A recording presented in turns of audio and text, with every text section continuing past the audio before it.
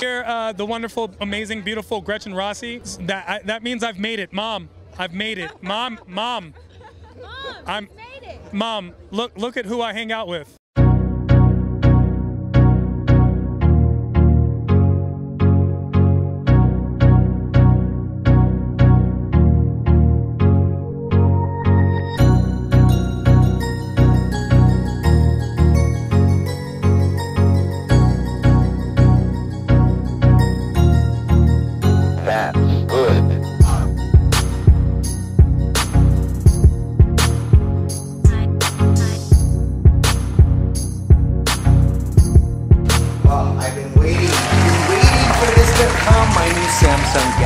Phone replacement has just arrived, and I have so much I have to talk to you guys about.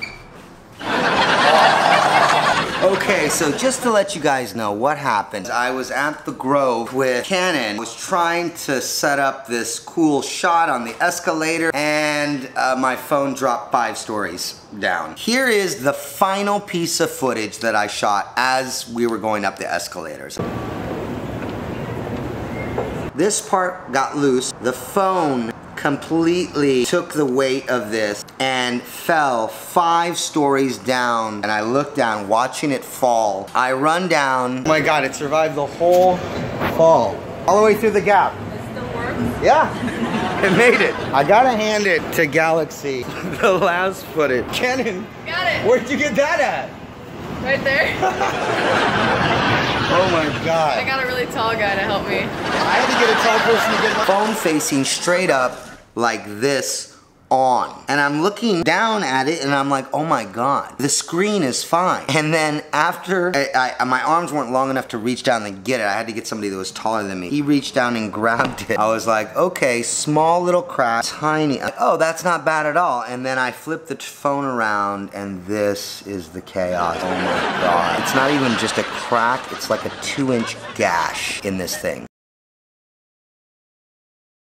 I got referred by one of my clients, uh, Mikey Stone. He referred me a designer uh, named Pedram Pasha Tahare. Hey, Peter Rohn in New York Fashion Times, and I have. Pedram with Pedram Couture. Tell us about the show.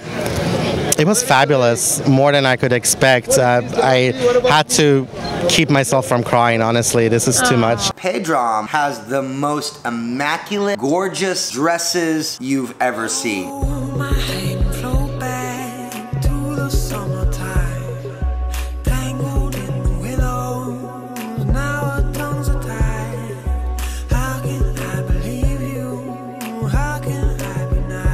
He's like the up and coming super designer. Pedram was having spring summer 2015 runway show at LA Fashion Week. He wanted someone to film the runway show. I'd never shot a runway show before in my life, so I was like, yeah, sure, we can do it. I think I had done Levi's and a music video. That's all that was on my reel. I'd seen a couple runway shows before. I'd seen a lot in person and I'd seen a lot, you know, online. Like, okay, well, you get the shots of the shoes and then pan up and then you got the girl. Then you get the next girl coming and that's that's the show. Nothing to it. Again, researching online and watching every single fashion show. And I could not believe how shitty all of them were.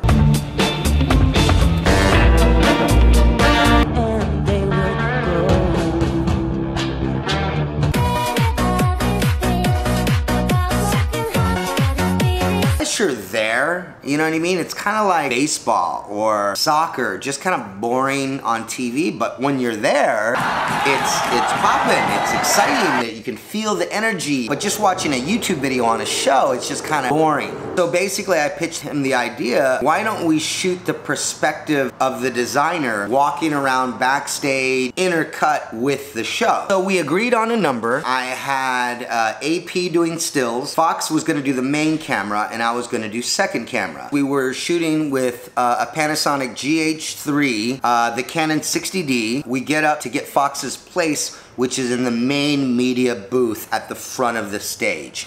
Now, let me show you an example of what that actually looks like and how much space one has. It's like ET, Inside Edition, MTV, Associated Press, Ellen. Look how narrow.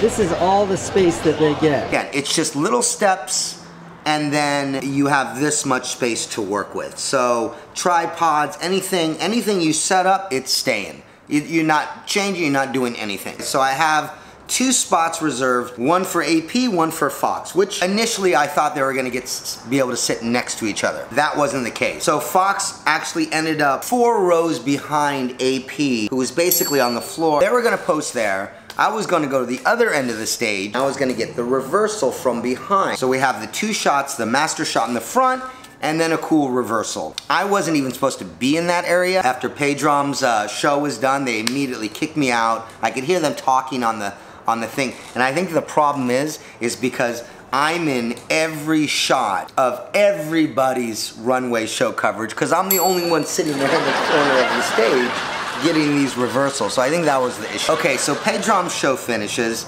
I'm like, whoo, done. Now all we need to do is shoot runway, uh, red carpet stuff. So I run out the backside. As I'm running around, from a distance, I see Fox shaking his head, okay? Shaking his head. So I'm just like, oh my God, why is Fox shaking his head right now? So I walk up and I'm like, hey, we good? Everything good? Fox goes, we had some difficulties. So my heart drops and I go, well, what kind of difficulties? And he goes, well, my battery ran out. I was like, okay, and I knew that, you know, I had given him two spares, a couple memory cards, so we should have been good, and I told him to have a full battery once we started shooting the show. Fox had been shooting the two shows before that one started, and then ran out of battery. So I was like, okay, well, how much of the show, like, what, what gap did you miss? He goes, all of it.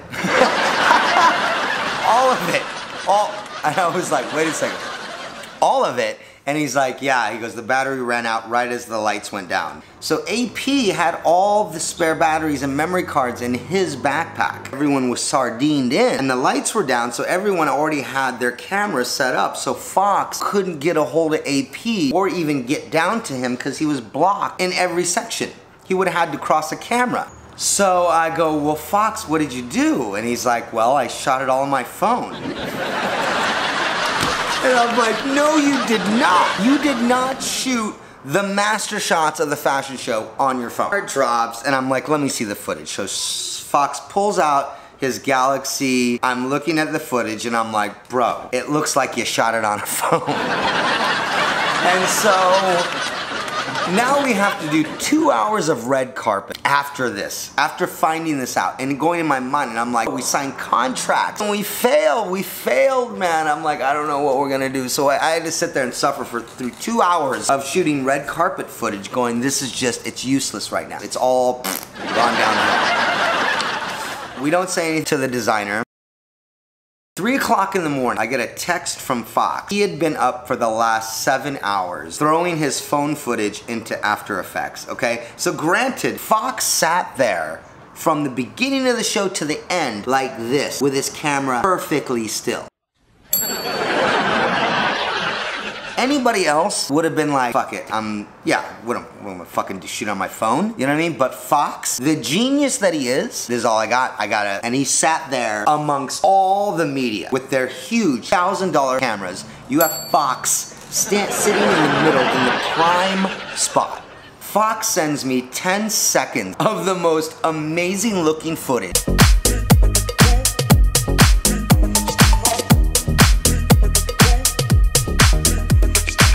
Oh my God, man. This, this might actually work. So what we had to do is match all the GH4 4K footage, the Canon 60D footage. We had to match that to the Galaxy footage. We pulled it off. We put together what I feel like is an amazing runway show.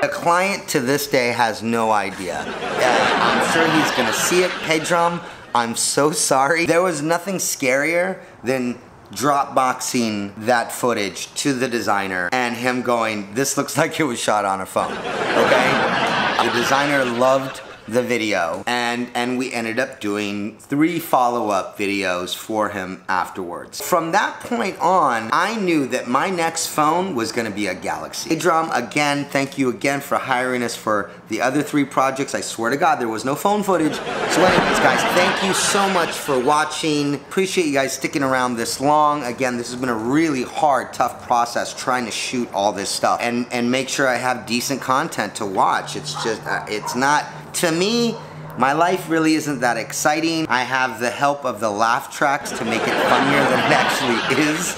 Uh, I still have fun with it because I can just be like, boom, or bam, bam. And i- i- everything kind of seems a little bit funnier than it is. That is the story of how I shot a runway show on a Galaxy S4. We'll see you on the next episode.